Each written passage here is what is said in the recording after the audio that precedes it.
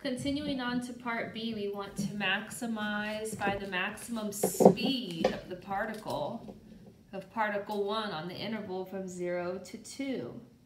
So remember from the problem above, v of t for our first particle is the function 4t cubed minus 24t.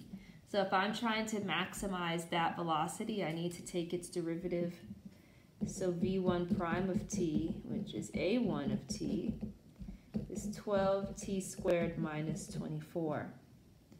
So if I find that critical value, t equals plus or minus square root 2. So let me do a sign check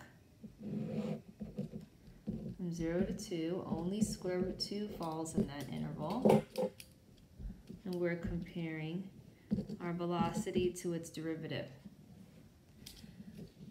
So if I plug in a number greater than square root 2, let's say um,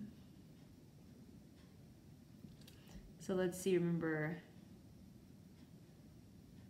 square root of 2 is between square root of 1 and square root of 4. So square root of 2 is between 1 and 2. So if I plug in a number less than square root of 2, I could plug in 1. If I plug in 1 in here, I get a negative, decreasing.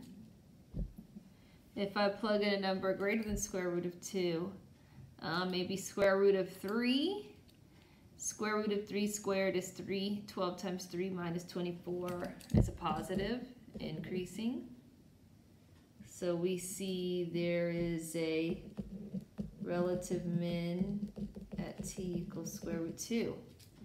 But we're looking on a closed interval here, so we need to check our velocity.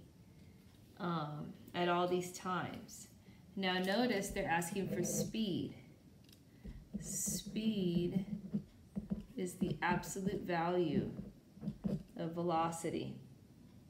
So let's find speed of zero is the absolute value of zero, which is zero.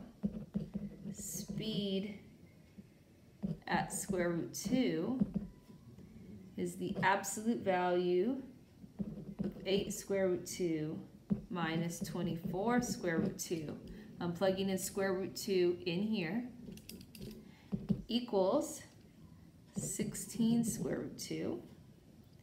And then if I want to check my speed at time equals 2, that's the absolute value of 32 minus 48, which is 16. So here, is my maximum speed.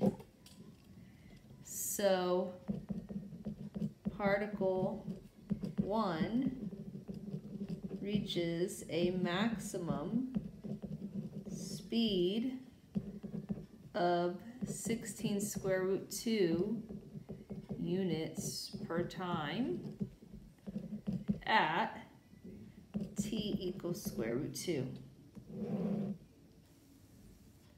So we notice that sometimes the max or min might happen in the interval or on the endpoints.